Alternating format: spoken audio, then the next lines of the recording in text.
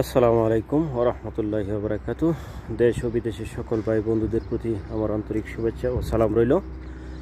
দেখেন, আজকের এই প্রিয় দিনে, এই প্রিয় দিনটিতে আমি সোনার বাংলাদেশ ছেড়ে সৌদি আরবে পাড়ি জমিয়েছিলাম। দীর্ঘ সাড়ে চার বছর হয়ে গেল। তো আমি এই অফিসে চাকরি করি, দেখেন ওই যে অফিসটা, এই অফিসে চাকরি করি।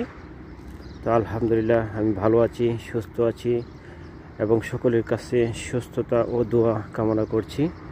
তো আশা করি সকলেই ভালো আছেন, ভালো থাকবেন। আসসালামু আলাইকুম।